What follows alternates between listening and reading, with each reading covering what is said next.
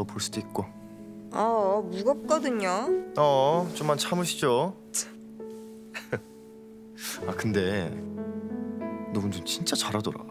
그래 그렇다니까. 영광인 줄 알라고 했잖아 내가. 뭐 또 필요하면 말하시든가.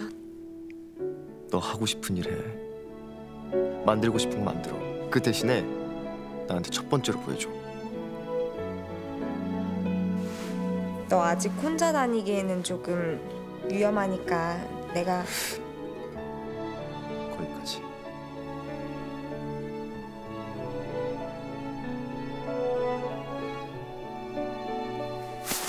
나 가야겠다. 어? 너 얘랑 놀아. 너 어디 가려고? 집에 가야지. 아 그럼 여기는?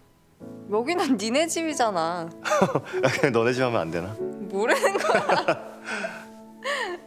아 배고파. 밥 해줘. 네가 해 먹어. 아힘 없어. 어? 어 빨리 밥 해줘. 밥 해줘. 너가 가서 빨리 해 먹어. 아 빨리 밥. 알았어, 알았어, 알았어. 일어나. 그래?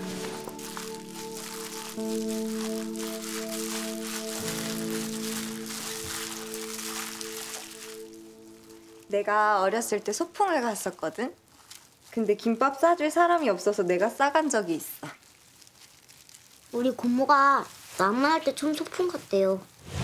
근데 김밥 쌀 줄 몰라가지고 고모가 중국밥 요리요리 만들어서 싸갔대요.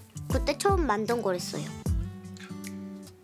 김밥을 왜 애가 싸?